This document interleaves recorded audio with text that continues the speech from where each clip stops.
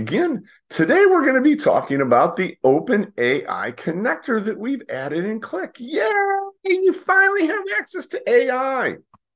That's silly. Qlik has already been doing AI for multiple years. So why am I doing a presentation about the Open AI connector? It's because I want you to understand how we can augment what we're already doing by using the Open AI connector. Today is going to be the first of three videos where I'm going to show you exactly how you're going to configure that connector. So let's get started. I'm here in my load editor and I've got a question I want to ask to the Open API. I want to find out what are three things that Qlik Sense enforces for data governance? Legitimate question, and I want this AI solution to give me an answer to this. Settle my question here. I'm a little bit biased, of course, as the Qlik dork. Well, I've already got a couple of connections to OpenAI out there. I've got an OpenAI 3 that says rows predictable unique. I've got a GPT-3.5 Turbo that says rows predictable unique. Those things are set up specifically um, with some parameters for the use case that I'll be talking in my next video when I show how to call the connector. But for now, we're just going to set up a new one so that we can work together on this. When we say create new connector, you'll find the OpenAI connector down here under the list of analytics sources. And we're going to choose that. And now we get to choose the configuration. Do we want the GPT-3 or do we want the 3, 5, or potentially 4? I'm going to pick the 3.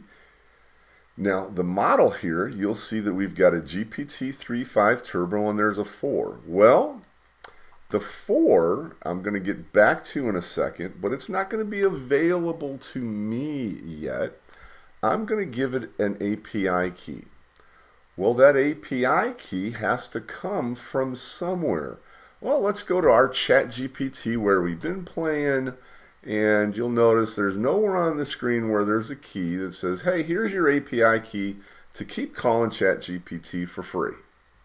That's not what we're doing. The connector talks to Open API. It's the, it's the REST API behind the chat GPT, which is just a visualization front end. They offer that to you free you have to create an account for yourself. Yes, you have to go actually pay for it. Once you do, you're allowed to create a set of API keys. I've got a secret key, yay! That's really, really, really my secret key. And I've got a video key that I've created that I'm going to get rid of as soon as I finish making these videos so you can't copy my key.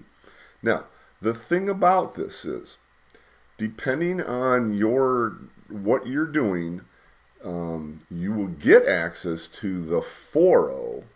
I do not personally have access to 4.0 yet. It's still a beta for who I am. So I can't choose that yet, but we've enabled that option so that if you have access to that beta, you can call it. So I'm going to call GPT 3.5. I'm going to paste in my secret key here. And so you'll notice here we've got a number of other options we can choose. Temperature and max tokens and top P and frequency penalty and presence penalty and a whole bunch of stuff that doesn't necessarily make a whole lot of sense. If I had my druthers on temperature, I'd choose 72 degrees with a slight breeze coming from the west off the ocean like it was in San Diego all the time. Unfortunately, I don't have the luxury of choosing that. These, this temperature actually has to do with how creative or how predictable it might be. And so that's why these ones say predictable. Okay, because in those, I've set that to a predictable setting, which is not one. So fortunately, there's a handy dandy API documentation because all Open API is, is believe it or not, an API, and APIs are documented. I'm coming into the create completions section here because that's the one I'm looking for. And you'll see it'll tell us what that is. It's a, it's a sampling temperature to use between 0 and 2. Higher values like 0.8 will make it more random, while lower makes it more predictable or deterministic. Well, I'm going to go ahead and accept the default here. Guess what? For the ones that say predictable that I'll talk about when I show you how to call the connector and set up my use case, I'm going to actually pass it a zero because I want it to be super predictable. I'm going to go ahead and accept the one, which is kind of mid-range. You'll see top P is an alternative way to sample. Um, it's basically saying, hey, we've got all these little, uh, you know, uh, sessions out there running, creating multiple answers. Um, some are going to be super creative. Some are going to be very probable. Um, which ones do you want to use? Do you only want to use the top 10% that are most likely to be right? Or do you want to get a set of really highly creative out there, unique type things? Well, again, in my particular use case, I've modified that slightly. What they recommend is that you use one or the other to try to control which of the little, think of them as little bots out there getting their answers, which of those ones you want to get have the chance to get returned. And the presence penalty and the frequency penalty both are basically in the same range. They can go from negative 2 to 2 and basically um, they determine whether you're going to allow it to duplicate or reuse words, themes, thoughts over and over if you want completely unique answers from one another. And again, in the use case, when I talk about how to call a connector, you're going to see me actually change those values. For now, we're just going to say, you know what? Let me just take your out of the box stuff. I want my temperature to kind of be in the middle. I want the top P to be the default, and I'm good to go. Max tokens. There's a couple of different token types. One is how many tokens is it going to take to ask the question? What text are you passing to it? And there's tokens involved with that text so that they can charge you. Obviously, the larger the question, the more tokens you need. The lower the question, the fewer tokens you need. I'm going to go ahead and change this from 16 because I know it's going to come back more than that. I'm going to go ahead and just say, ah, give me 256 for now. And this is just setting up the max. This isn't what you're charged. This is saying, hey, don't go over this. Don't because yeah, you could get surprised with some answers. And the higher it is, the more you get charged. And when I say that, I'm talking about pennies here. I'm not talking about dollars. There's no, oh my gosh, I just asked it a question and now I can't eat lunch the next week. We're talking about pennies. I've been running this uh, with my account since very early March. Have done a ton of demos like this, have done a ton of playing, and I'm still under $20. Like it, it's a matter of pennies per time, easy breezy. We're going to go ahead and give this a name, and I'm going to say that this is OpenAI 3.5 and I'm just going to say that this is my default. So I know I have default parameters. The last thing that it's going to ask me is what's the association? So that if I ask multiple questions and it returns multiple answers, how would it combine these things? How will it associate them in Qlik's in-memory model? Well, I purposely just named that key field. So I know here that it's very easy. Key field is the one I want to associate. I'm going to test that. Yay! It tests fine. And now if I scroll back down to my connections, and yes, I know I've got an awful lot of connections. Here's my OpenAI 3.5 default.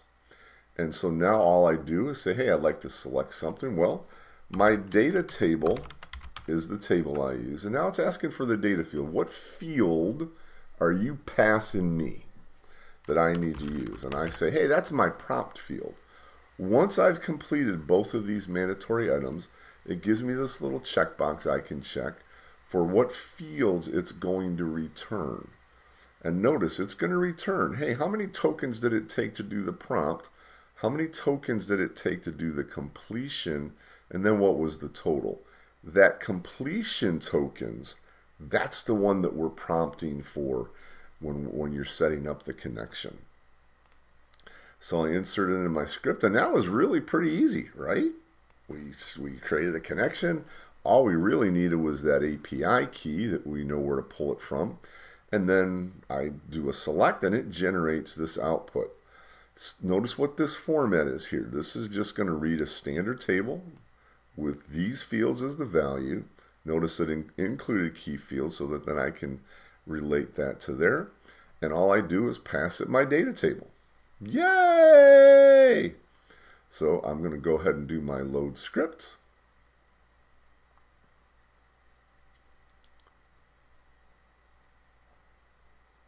And we'll give that a few seconds and voila. Within 10 seconds, we were able to ask that question. OpenAI went out and searched through its web of all its gajillions and jillions of bytes uh, in training and tried to answer my question. So now if I take a look at my data model, I want you to see it is make it is created that association. That's why you're asking it to associate. If I look at this value, hey, the key field was question one. I used the chat completion model. Here's the model type that I use. It took 20 tokens to ask the question. It took 185 tokens to give me the answer. The total tokens used was 205. Again, this one is the one that you're giving it the parameters for. You're saying this is how many tokens I want you to risk of my money to get me an answer, and it gives me the answer then.